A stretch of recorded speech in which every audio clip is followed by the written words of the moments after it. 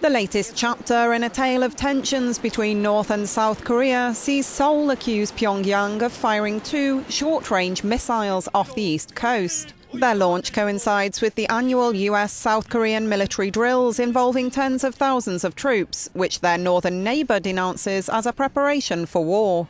A spokesperson for the South Korean military said the rockets, with a range of 490 kilometres, were fired from the city of Nampo. The exercise provoked a swift reaction from Japan. The chief cabinet secretary labelled the launch an extremely problematic action, saying, We swiftly lodged a stern protest with North Korea. Meanwhile, in South Korea, demonstrators gathered near to the US Embassy in Seoul to rally against the joint military drills dubbed Key Resolve and Foal Eagle.